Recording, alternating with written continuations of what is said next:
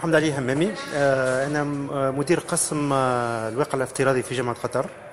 جيت لهنا باش نقدم الرياليتي فيرتوال كوم ان نوفو موان دونسينيومون باش نحسنوا لونسينيومون ونحسنوا الريشيرش خاصه في لي زونيفرسيتي وفي الجامعات التونسيه والله الفوروم هذا سي اون تري بون انيشيتيف خاطر تخلي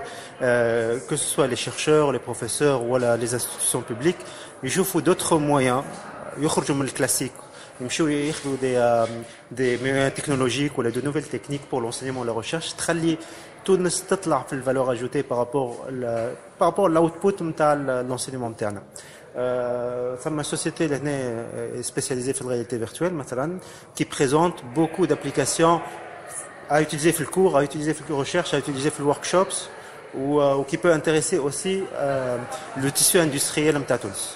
euh, donc c'est une très bonne initiative où, euh, où j'espère qu'elle sera réitérée dans le futur. Inch'Allah.